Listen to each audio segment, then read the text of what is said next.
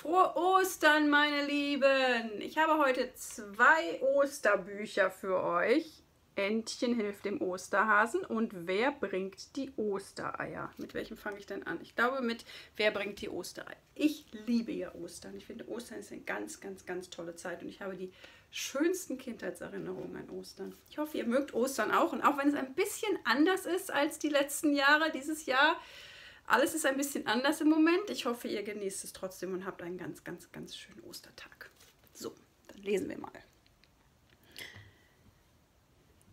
Könnt ihr das so sehen? So, ja? Nino, Nino, ich muss dir was zeigen, piepst das kleine Küken Lilli aufgeregt. Das kleine Häschen Nino blinzelt. Es liegt noch in der warmen Höhle bei seiner Hasenmama. Na gut, ich komme, gähnt Nino und hoppelt seiner Freundin hinterher. Lilli zeigt Nino ein Nest mit fünf bunten Eiern. Komisch, Ostern ist doch erst morgen, wundert sich Nino. Da war mein Papa, der Osterhase, aber früh dran.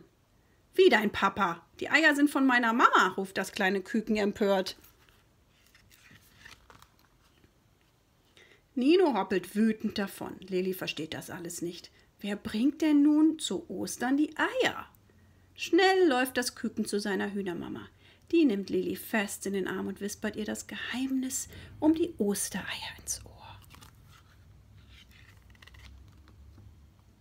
Lilli sucht Nino überall im hohen Gras und unten am Fluss. Da sieht sie plötzlich hinter dem großen Stein zwei Hasenohren hervorblitzen.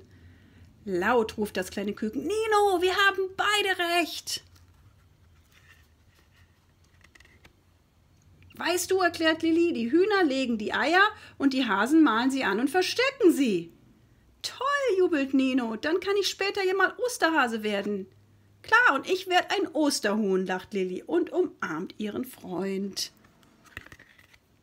Tja, und ich habe mich auch immer gewundert, warum denn eigentlich Hasen Ostereier bringen. Was haben denn Hasen bitte mit Ostereiern zu tun? Und jetzt wissen wir es.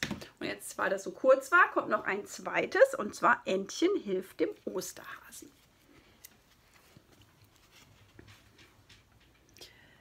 Heute will Mama Ente ihren kleinen Entenkindern das Schwimmen beibringen. Plitsch, platsch hüpft ein gelbes Entchen nach dem anderen in den Teich. Nur ein kleines Entlein hat Angst vor dem Wasser. Komm doch, schnattern seine Geschwister. Nein, ich will nicht. Niemals, piepst das Entchen trotzig und bleibt allein am Ufer zurück. Doch halt, was ist das? Da tauchen plötzlich zwei lange Ohren im grünen Gras auf. Hallo, kleines Entlein, willst du mir helfen, die Ostereier zu verstecken? fragt der Osterhase. Gerne, freut sich, freut sich das Entchen und nimmt ein buntes Ei aus dem Korb. Im hohen Schilf gibt es sicherlich viele gute Verstecke, denkt es. Doch oh je, das Ei kullert davon und plumps in den Teich. Erschrocken blickt das Entchen hinterher, aber dann nimmt es all seinen Mut zusammen, hüpft ins Wasser und rettet das Osterei ans trockene Ufer. Das hast du sehr gut gemacht, lobt der Osterhase. So schnell es kann, watschelt das kleine Entlein nach Hause. Mama, Mama, ich kann doch schwimmen, ruft es und erzählt stolz von seinem Abenteuer. Dann kuschelt es sich zufrieden an die warmen, flauschigen Feder der Mutter und schläft ein. Jetzt wünsche ich euch noch ein wunderschönes Osterfest. Und bis morgen. Tschüss.